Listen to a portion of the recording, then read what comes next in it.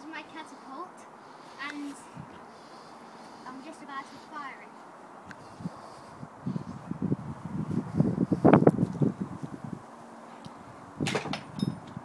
Ah!